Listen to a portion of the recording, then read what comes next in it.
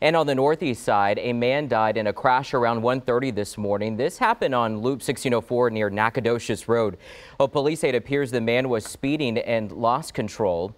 Slamming into a guardrail, the driver was pinned inside the vehicle and died at the scene.